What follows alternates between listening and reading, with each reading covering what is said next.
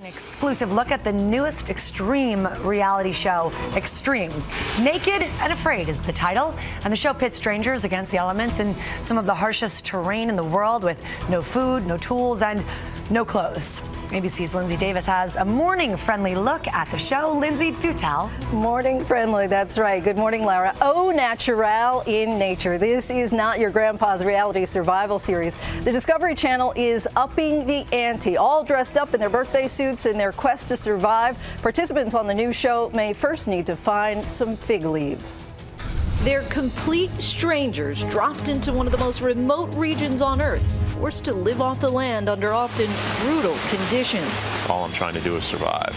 And if all that weren't bad enough, they're both naked. I don't want to be here anymore.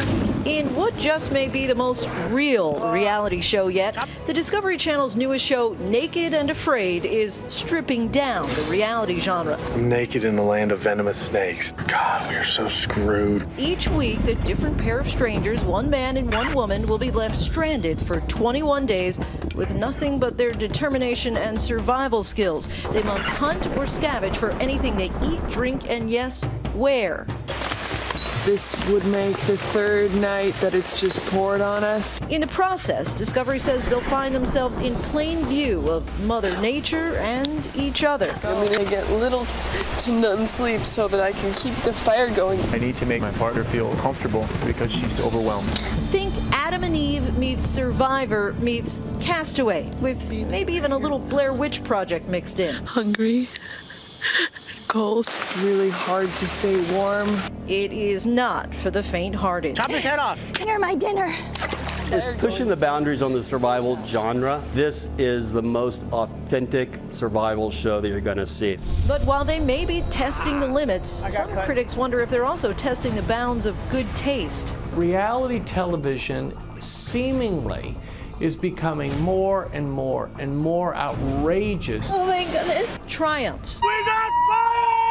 And, well, everything else as these disrobed duos try to survive with little more than their wits.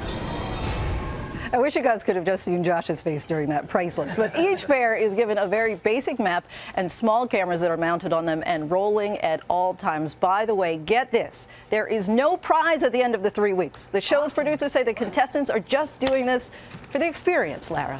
What? Yeah, and all the fun they get to have. Josh, Why didn't they tell you? You're going on set. Yeah. yeah. Yeah. Behind I, the scenes. I quit. if you I had am, to. I am well clothed and terrified right now. Sure. All right, there you have it, everybody. But if you would like to see Naked and Afraid, you can tune in to Discovery Channel, premiering this Sunday.